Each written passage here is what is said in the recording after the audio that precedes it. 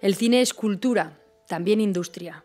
Tiene una doble cara que puede parecer antagónica, pero que bajo ciertas circunstancias llega a combinar perfectamente bien. En Navarra lo sabemos. Somos la comunidad más industrializada de España.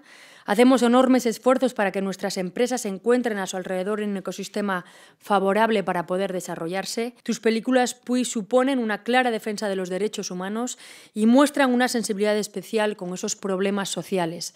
Con el cine de Puyoria hemos abierto los ojos a la terrible realidad de la inmigración, reavivado el debate social ante el silencio de los abusos sexuales o recordado que nuestra identidad reside en la infancia y en la España rural que ahora está en riesgo de desaparición.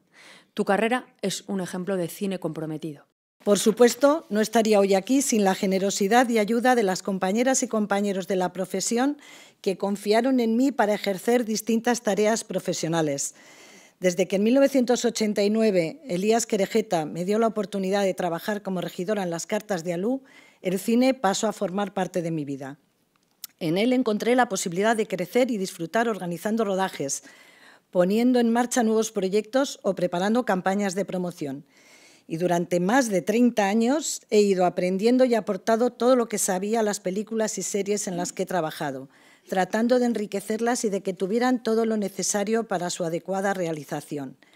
También he aprendido que el cine y el audiovisual en su conjunto no, solo es hacer películas o series, sino que además es necesario que nos impliquemos en preparar a los y las futuras profesionales del sector y que trabajemos para consolidar leyes que permitan la realización y difusión de la enorme diversidad y riqueza creativa de nuestros proyectos.